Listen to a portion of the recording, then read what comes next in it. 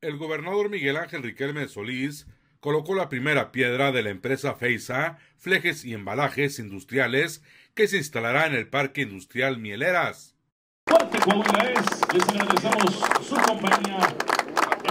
Jesús Emilio Sánchez Lira, gerente de la empresa, dio a conocer detalles de la inversión. Fabricar película industrial, película de grado alimenticio, así como también una fábrica para elaborar foam, burbuja y también extender nuestra ya fábrica de esquineros de cartón y de centros de cartón. Nuestro objetivo para el primer año de operaciones es producir alrededor de 500 toneladas por año, teniendo como objetivo llegar a las 1000 toneladas producidas por año.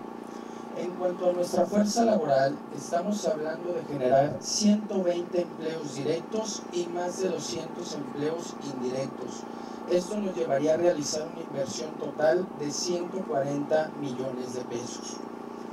Este proyecto se realizará gracias a la confianza que nos ha brindado nuestro señor gobernador, ingeniero Miguel Ángel Riquelme Solís. Por su parte, el mandatario estatal refrendó el compromiso para generar más empleos en esta región. Reafirmar mi compromiso con la comarca lagunera de seguir generando los empleos que requiere, pero además de seguir impulsando la competitividad que requiere la comarca para que al final lleguemos a la meta de cualquier gobierno, que es empleos mejores pagados. Ante la renegociación del Tratado de Libre Comercio, dijo que Coahuila está listo para enfrentar cualquier escenario.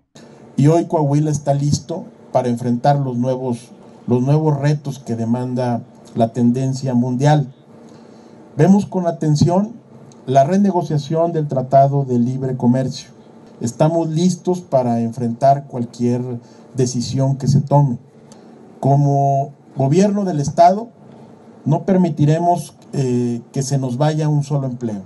Estaremos del lado de quienes han confiado en Coahuila por muchos años y que hoy ven, eh, sin lugar a dudas, a Coahuila como el mejor destino para invertir.